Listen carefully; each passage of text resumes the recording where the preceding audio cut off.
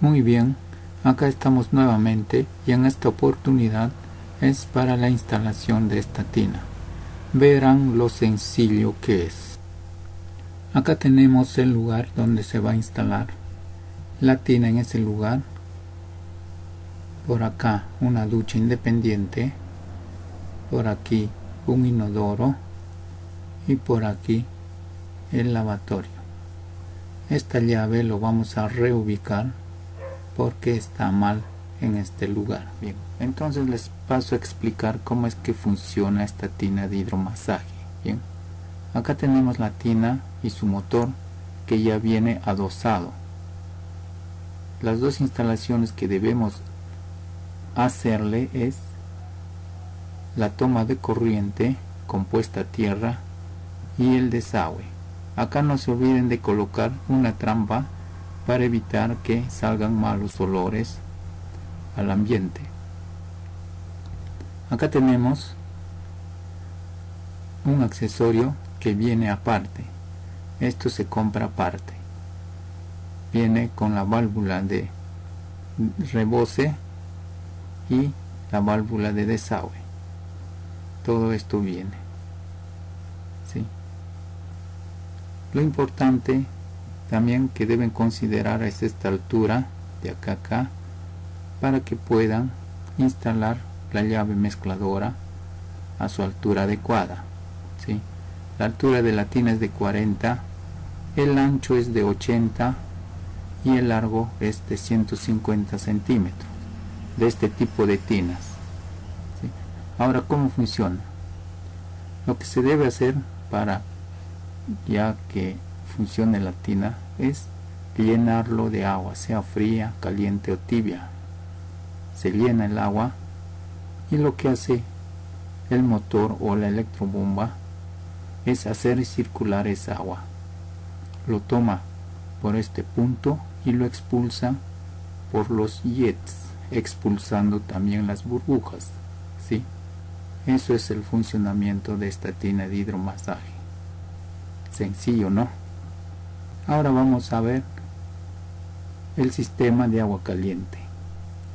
Ok.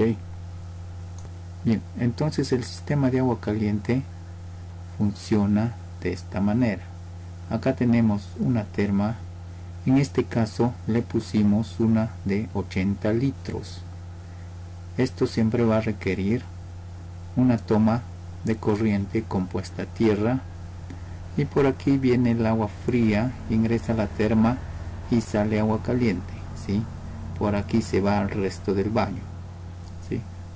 acá tenemos la llave mezcladora para la tina el cual tiene tres perillas esta es para controlar el agua caliente esta para el agua fría ahora del medio es para controlar la salida del agua mezclada sea por la ducha o por este pico o ambos a la vez.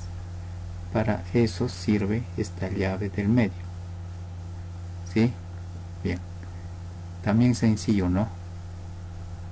muy bien.